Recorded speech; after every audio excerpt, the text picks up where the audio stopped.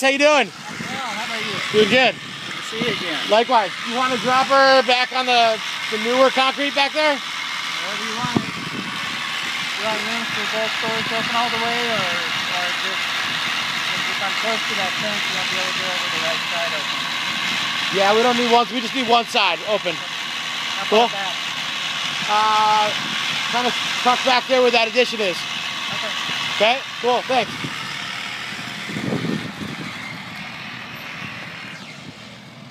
This is Les with Been There, Dump That. I love the name. Hey, Andrew with FOM Holdings, and uh, we just closed on this house about an hour ago, and we're going to document it from A to Z.